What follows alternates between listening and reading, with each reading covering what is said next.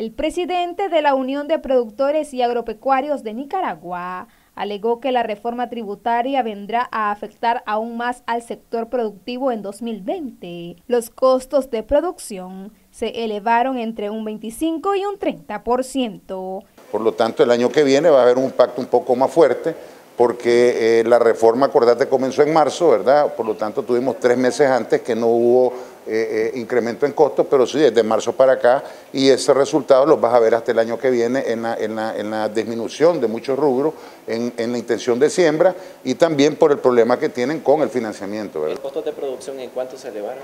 entre un 25 y 30%, ¿verdad?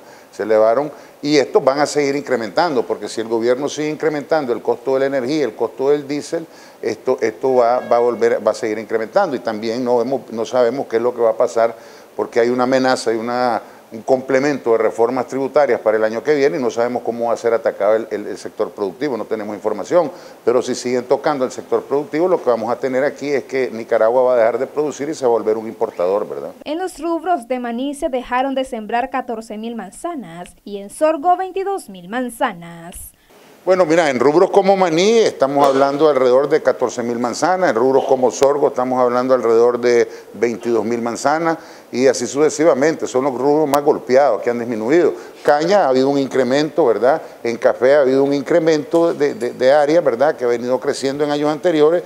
Sí hubo una disminución eh, de la intención de, darle mantenimiento al rubro eh, por los precios que tuvimos en los los primer semestre, ¿verdad? Pero sí hay una reacción positiva donde ya el productor está tomando cartas en el asunto y mejorando, ¿verdad? Noticias 12, Teresa Reyes.